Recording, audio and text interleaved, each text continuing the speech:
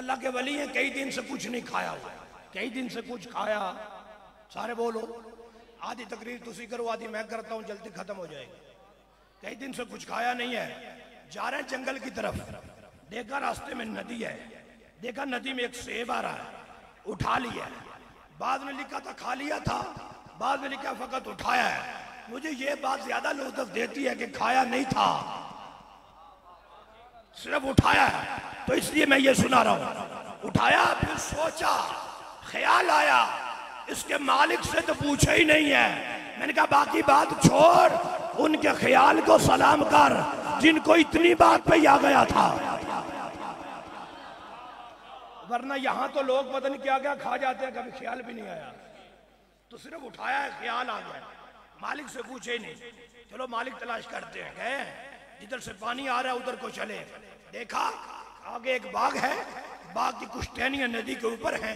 सोचे इसी बाग का होगा। सेब को पकड़ा है। बाग के अंदर गए हैं। जाके एक हस्ती खड़ी है। अस्सलाम वालेकुम वालेकुम अस्सलाम हजूर, इसका रंग बताता है आपके बाग का है। नस्ल बताती है आपके बाग का है। खुशबू बताती है आपके बाग का है। आप मालिक हैं, जरा पहचान के बता दे। आप ही का है। मालिक साहब सेब की तरफ़ देखते ही नहीं है। वो हाथ की तरफ़ देख रहे हैं। जिस हाथ में सेब है, उसी की तरफ़ देख रहे हैं। हजूर, ये रंग बताता है कि आपका है। वो मुस्कुरा के कहते हैं, मुझे तो ये भी बता रहा है कि मेरे ही है। समझना समझना, कुछ कहना चाह रहा हूँ। हजूर, ये रंग बताता है कि बा आपके बाग का है। ये नस्ल बताती है कि आपके बाग का ये फल है। वो हाथ की तरफ़ इशारा करके कहते हैं, ये नस्ल भी बताती है कि हमारा है। रुकिएगा रुकिएगा जरा। हजूर सेब का पूछा है, आप ही का है। कहते हैं, मैंने सेब कोई नहीं पहचाना। तुझे भी पहचान गया हूँ बेटा। मुझे इतना बता दे, हसन का बेटा या हुसैन का इतना बता दे इतना बता दे, हसन का बेटा है या हुसैन का? अर्ज़ करते हैं मैं तो इमाम हसन का बेटा हूँ। कहते आ फिर सीने लग तू हसन दा, ते मैं हुसैन दा। तो हसन का बेटा है तो मैं हुसैन का हूँ। हजूरे वाला, ये बगैर पूछे उठा लिया था। माफ़ी दे दो, आशर के दिन अम्मी दहारा नहीं पूछ लिया। तो क्या जवाब देंगे? इसकी माफ़ी, वो समझ गए इतना तकवा, इतनी परहेजगारी। एक सेब की माफ़ी के लिए कहते हैं, ऐसे माफ़ी कोई नहीं। हमारे बाग की राखी करो ना कोई साल। खिदमत करो कुछ अर्सा। फिर माफ़ी का सोचते हैं। खिदमत हो गई। कहा माफ़ी दे दो। कहीं नहीं, मेरी एक बेटी भी है। आँखों से नबीनी है। ज़ुबान से बोलती नहीं है। कानों से सुनती नहीं है। हाथ है ही कोई नहीं। पाँव से चल नहीं सकती। उससे शादी भी करो। ऐसी है। ज़ुबान से नहीं बोलती। आँखों से देखती नहीं है। शादी भी करो। थोड़ी देर सोचा, फिर कहा, ठीक है, शादी हो गई। निकाह हो गया।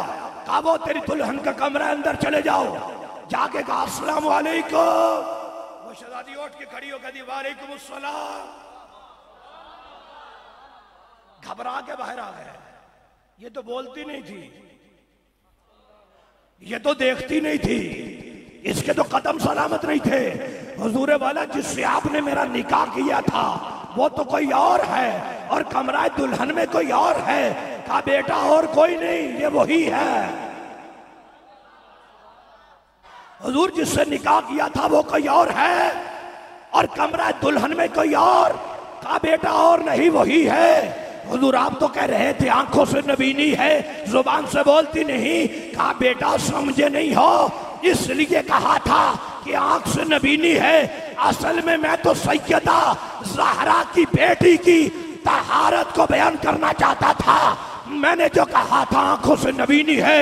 मेरी बेटी ने आज दिन तक किसी गैर महरम को नहीं देखा।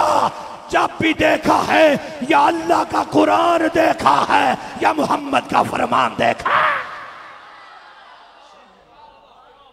आज दिन तक गैर महरम को नहीं देखा। मैं तो सईदा की बेटी की तहारत बयान करना चाहता था।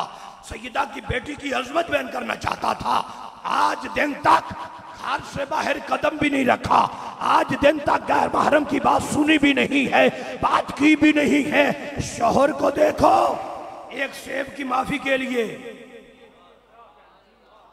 जोजा को देखो, यार तहारत का अंदाज़ा करो वैसे। कि शोहर कितना पाक जोजा कितनी पाक।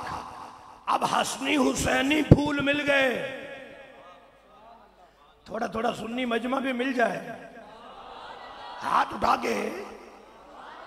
ठीक है, रावलपिंडी वालों को जलालियों की आदत नहीं है, लेकिन आहिस्ता आहिस्ता पड़ जाएगी। हाथ उठा के बोलो सुहान अल्लाह तवज्जो है तो बोलो ना सुबहान अल्लाह एक हसनी फूल मिला है, एक हुसैनी फूल।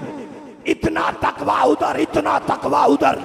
इतनी परहेजगारी उधर, इतनी परहेजगारी। मेरे अल्लाह इतनी तहारत का इंतज़ाम कर दिया है। ये कौन पैदा हो रहा है? पर मैं एक हसनी फूल मिला है, एक हुसैनी फूल मिला है। तो मिल गए हैं। अब दोनों से जो खुशबू पैदा होगी, जमाना उसे गौ से आज़म कहता है।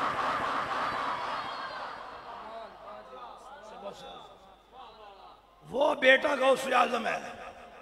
वो गौ से आज़म मेरे अल्लाह इतनी तहारत का इंतज़ाम, कौन पैदा हो रहा है? का गौ से आज़म है? वक़्त का गौत है।